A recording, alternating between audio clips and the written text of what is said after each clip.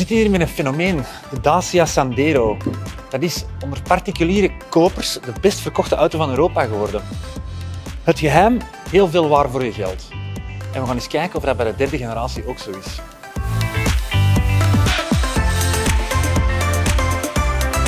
Je kan deze test ook nalezen in het magazine, zowel op papier als digitaal. En we verwijzen ook graag door naar autogids.be voor meer nieuws, meer tests en allerhande andere info. En dan gaan we nu door naar Klaas, die gaat ons alles vertellen over de nieuwe Dacia Sandero en dan specifiek deze Stepway versie.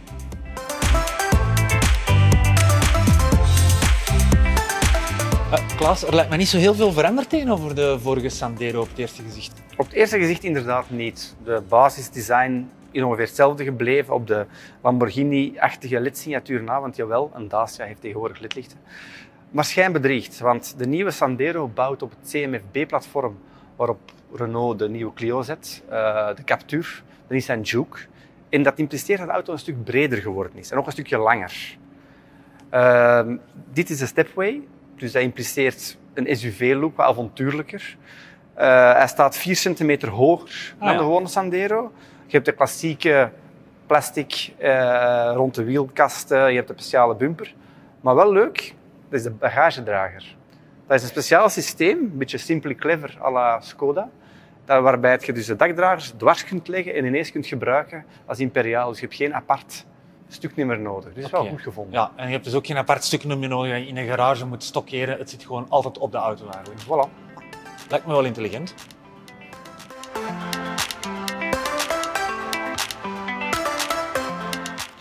Dus uh, een bescheiden motortje, 1 liter. Ja, een 3-pieter van de jongste generatie. Alleen maar benzine, geen diesels meer. Uh, van deze motor komen twee versies. Je hebt de SCE, de atmosferische versie, die is 65 pk sterk. En de TCE 90, die is ja, 90 pk sterk. De Stepway variant, zoals hier staat, komt alleen met die laatste. Die laatste is ook beschikbaar met LPG, niet met CNG, dus voor de milieubewustere uh, rijders. Verder hebben we twee schakelopties. Je hebt een manuele, een vijfbak bij de 65 pk en een zesbak bij de 90 pk. En een nieuwe CVT-transmissie voor deze auto. De vorige generatie deed het nog met een gerobotiseerde boîte met één enkele koppeling die ja, nogal aanmächtig van versnelling wisselde. Oké. Okay. En uh, geen elektrische variant, maar Dacia werkt wel aan een elektrische auto, wat ik begrijp. Ah, wel, binnenkort komt uh, Spring, een klein SUV'tje op, op Renault-basis. Uh, en die wordt volledig elektrisch. En dat zou een van de goedkoopste elektrische auto's van de markt moeten worden. Okay. Dacia indachtig. en dat wordt dus een elektrisch alternatief. Het zal wel iets compacter zijn, maar ja, moet het, de elektrische auto en elektrische technologie natuurlijk ergens compenseren. Ja. Oké, okay. dat wordt interessant.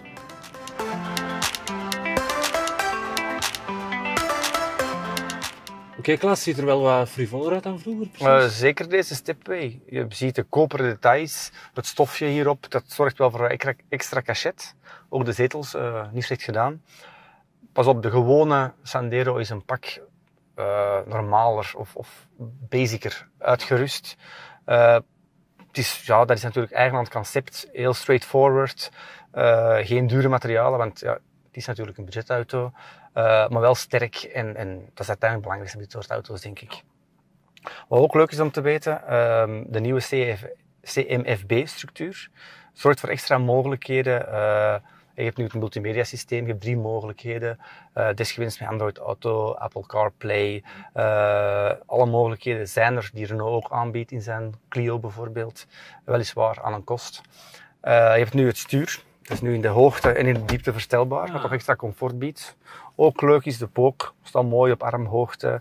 Uh, de, de tellerpartijtjes van de, van de automatische airco uh, zijn mooi vormgegeven. Uh, het is allemaal wel mooi bij de tijd. Nog altijd basic, maar wel goed en, en correct.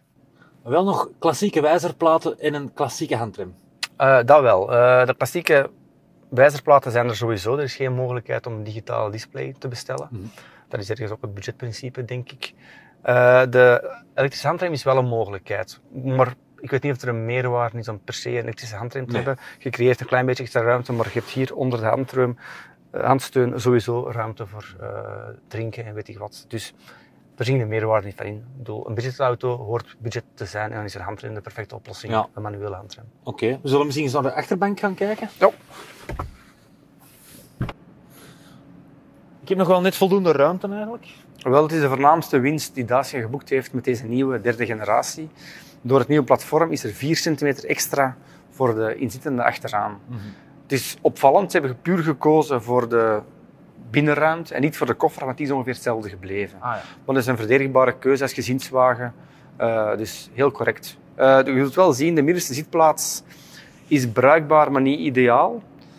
Maar zoals je weet is dat bij de meeste autoconstructeurs Ja. tegenwoordig wel het geval. Dus dat is moeilijk een kritiekpuntje.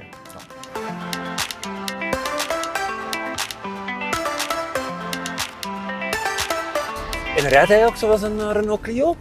Wel, de basis is dan wel hetzelfde, maar de aflevering is toch wel iets anders. Plus je moet rekenen, het is een stepway, dus je staat sowieso 4 centimeter hoger op zijn poten dan een gewone Sandero. Dus dat is allemaal wel wat rudimenteerder, moet ik zeggen. Het schakelen, het sturen, het sturen is heel licht. Eh, dat is allemaal niet...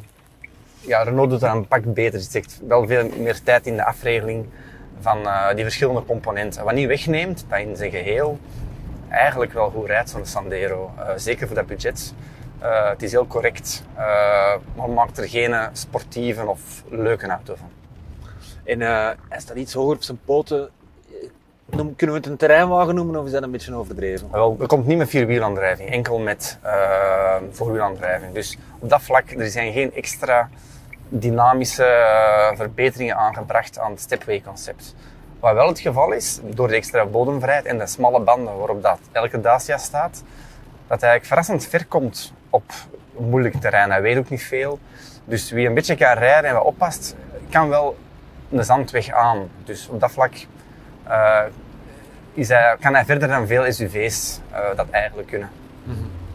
En wat vind je van de driecilinder? Eh, een, een, er is geen echte meerwaarde naar de vorige generatie toe. Dat is een correcte motor. Eh, je hoort hem een klein beetje rollen en een beetje ronken.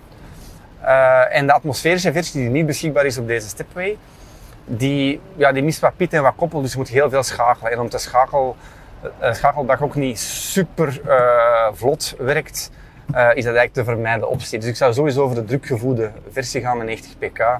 Die presteert goed, die is soepel genoeg. eh, en presteert, zeker dit soort auto, meer dan, eh, meer dan goed genoeg.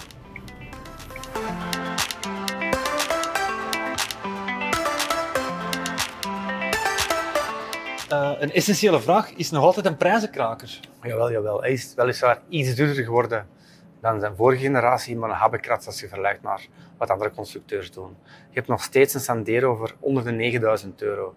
Dat is weliswaar een base eh, editie eh, die slecht uitgerust is. Maar onder de 10.000 heb je de Sandero Essential, waar dat wel van alles op staat. En dat is wow, ongelooflijk sterk nog steeds.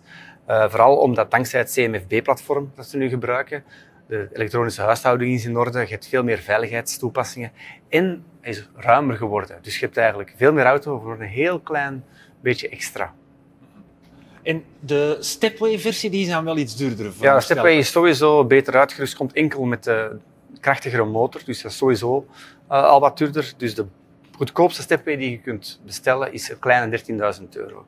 Wat best opvallend is, dat in België de meeste Dacia-kopers van een Sandero voor de duurdere uitrustingsniveaus gaan. Dus ze kopen eigenlijk een heel goedkope basisauto, die ze dan daarna duurder gaan spekken, om dan uiteindelijk nog altijd heel goed eh, uitgerust te zijn.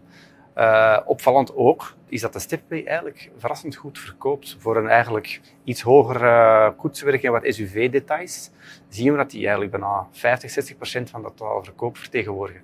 Wat veel is. Kleine opmerking, voor de prijs van een Stepway heb je ook een Duster. Dus als je dan echt een SUV wilt, is dat wel een heel goed alternatief voor deze uh, versie.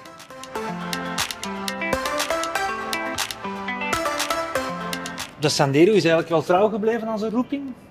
Ik vind van wel. Je krijgt wel meer auto, zowel qua formaat als qua technologie. Oké, okay, motorisch is de evolutie beperkt, uh, maar je krijgt wel veel meer auto voor nog altijd een heel lage prijs. Ik vind dat de auto uh, meer geëvolueerd is dan dat de prijs geëvolueerd is. Dus dat is uh, een mooi pakket. Je zou kunnen zeggen dat Dacia eigenlijk de nieuwe Volkswagens maakt. Je gaat eerst Volkswagen maakte de Volkswagens, zoals de Golf. Dan heeft Skoda die rol een beetje overgenomen, die wordt ook steeds duurder. Nu is dat Dacia. En Dacia heeft ook heel knap gedaan. heeft zijn merkimago helemaal rondgebouwd. Uh, 15 jaar geleden was dat een Roemeens merkje waar iedereen zijn neus voor ophaalde. Nu zijn ze een sterk product geworden, een beetje zoals Aldi doet, uh, Zeeman. Uh, die budgetmerken die zich echt heel sterk profileren en die ook een, een trouwe aanhang hebben verworven in die tijd. Dus heel knap gedaan. De meerwaarde van de Stepway is discutabel, maar ja, het hart wil ook wat. Dus uh, de mensen doen maar.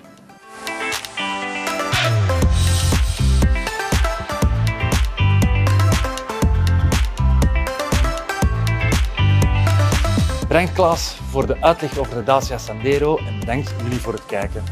Als jullie nog meer video's willen zien, je vindt er meer dan genoeg op ons YouTube kanaal. Tot de volgende keer.